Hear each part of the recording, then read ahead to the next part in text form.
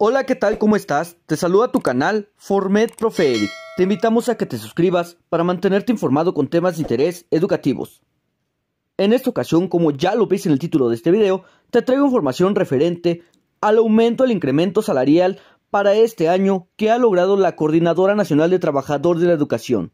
Es de importancia reconocer el trabajo que realizaron en sus manifestaciones los participantes y agremiados de la Coordinadora Nacional de Trabajadores de la Educación, ya que el logro obtenido no solamente va a corresponder para ellos, sino para todos los trabajadores de la educación a nivel nacional.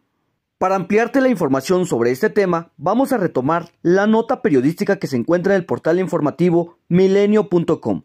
Aquí nos dice lo siguiente, CENTE consigue aumento salarial de 13% tras plantón y protestas. Hace más de una semana que inició el paro de labores y la instalación de un plantón en el Zócalo de la Ciudad de México como forma de protesta.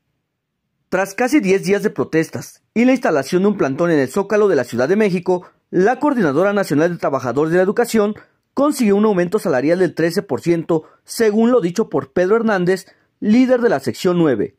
Sin embargo, el plantón en la Plaza de la Constitución se mantendrá por lo menos hasta el próximo 4 de junio, cuando se reúnan con el presidente Andrés Manuel López Obrador, quien esta misma semana había ofrecido un aumento de apenas el 10%.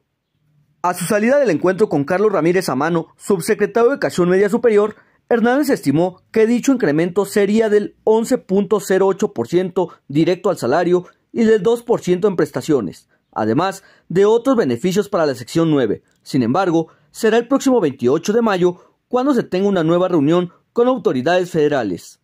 Primero darnos un aplauso a todos por estar aquí, por mantenernos en esta actitud de lucha, de compromiso, por aguantar la jornada, el sol, la lluvia, y eso obliga a que la autoridad voltee a que esta movilización es seria y en serio. Es contundente porque están las maestras de la sección 9 democrática, decirles que a reserva de que vamos a mandar un documento concreto de los avances de la mesa tripartita que sostuvimos con la SEP y con la Autoridad Educativa Federal de la Ciudad de México. Era necesario y es necesario que los trabajadores de la educación recibamos beneficios que se tienen en otras entidades, de que eso se está trabajando, dijo en un mitin improvisado ante los presentes.